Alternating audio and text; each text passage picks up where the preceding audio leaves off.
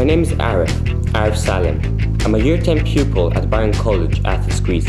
Byron College is a British international school in the northern suburbs of Athens, with pupils and teaching staff from many different cultures, from Asia and Middle East to Africa and Europe.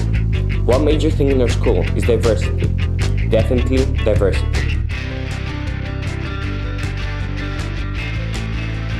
This is my class, Year 10 Chemistry. Now, it all started when our chemistry teacher spoke to us about the COBIS Young Scientist Film Award. I had to come up with a great idea for it, and I did.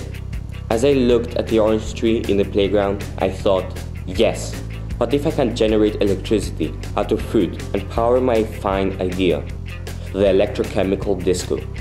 We started investigating at once. We remembered our chemistry teacher teaching us about electrochemical cells and batteries. All we needed were some galvanized with zinc wire, cut into pieces, and some strips of copper. First we tested a lemon by inserting those electrodes in it. We produced a surprising voltage of 0.94 volts. Then we moved on to test a grapefruit, an orange, even a potato. We had to find the fruit that produces the strongest current, and we did. It was a good old lemon.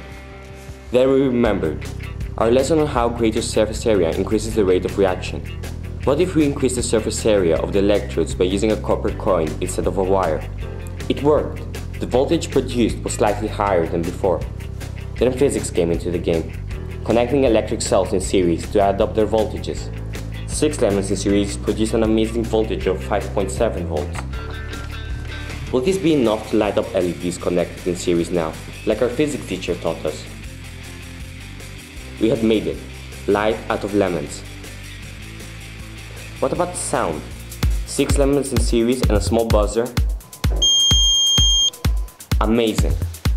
With the use of some video editing, our electrochemical disco came into life. If you think about it, all the sound and light that you see was produced using lemons. Good old lemons. I and science, and we hope